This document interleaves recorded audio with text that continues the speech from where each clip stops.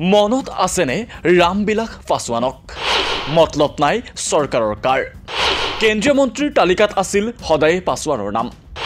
লক্ষ্য একেই নীতিশ কুমাৰৰো। দেশ জহন নামে যাওক। নীতিশ কুমাৰক লাগে মুখ্যমন্ত্ৰীৰ দায়িত্ব।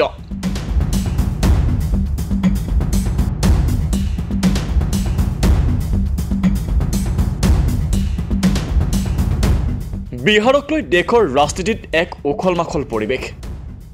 দৰাৰ ঘৰ এৰি যোৱা কইনা যেন পুনৰ ঘূৰি আহিছে বিজেপিৰ ঘৰলৈ।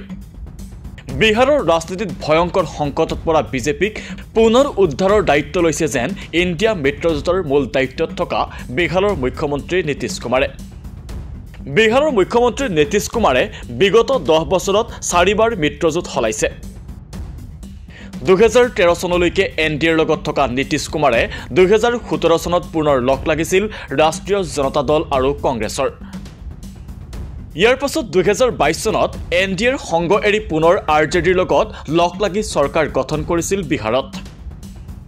আনহাতে বিহাৰৰ ৰাজনীতিৰ এক অবিসম্বাদী নেতা ৰামবিলাস পাছোৱানৰ নেতৃত্বত গঠন হোৱা দল লোক জনশক্তিয়েও বিহাৰৰ ৰাজনীতিত এক গুৰুত্বপূৰ্ণ ভূমিকা লৈ আহিছে। প্ৰয়াত ৰামবিলাস পাছোৱানৰ পুত্ৰ চিৰাগ পাছোৱানে বিহাৰৰ ৰাজনীতি সম্পৰ্কত কয় যে তেওঁ বিজেপিৰ শীৰ্ষ নেতাৰ লগত এক ঘনিষ্ঠ সম্পৰ্ক ৰক্ষা কৰি আছে। এন ডি এৰ সহযোগী দলৰ মুখ্যমন্ত্ৰী হিচাপে নীতিশ কুমাৰক তেওঁ কেনেদৰে গ্ৰহণ কৰিব বুলি প্ৰশ্ন কৰা হৈছিল। যাৰ উত্তৰত তেওঁ কৈছিল যে এই প্ৰশ্ন সম্পূৰ্ণ কাল্পনিক।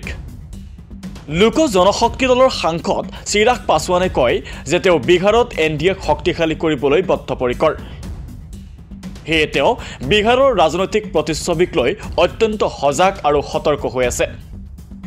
অৱশ্যে চিৰাগ পাছোৱানে প্ৰত্যক্ষভাৱে নীতিশ কুমাৰ এন ডি এৰ মুখ্যমন্ত্ৰী হোৱাৰ বিষয়টোত নিজৰ মন্তব্য প্ৰকাশ নকৰিলেও কিন্তু এন ডি এলৈ নীতিশ কুমাৰৰ দলৰ পুনৰ প্ৰত্যাৱৰ্তনৰ পক্ষপাতি নহয় চিৰাগ পাছোৱান। দুহেজাৰ বিছ চনৰ বিহাৰ বিধানসভা নিৰ্বাচনত নীতিশ কুমাৰে এন ডি এ মিত্ৰজোঁটৰ প্ৰাৰ্থীক পৰাজিত কৰাৰ বাবে চিৰাগ পাছোৱানক জগৰীয়া কৰিছিল। তেতিয়াৰ পৰাই নীতিশ কুমাৰৰ লগত সম্পৰ্ক মধুৰ নাছিল চিৰাগ পাছোৱানৰ। সেয়ে মুখ্যমন্ত্ৰী হিচাপে নীতিশ কুমাৰক মনে প্ৰাণে বিচৰা নাই চিৰাগ পাছোৱানে।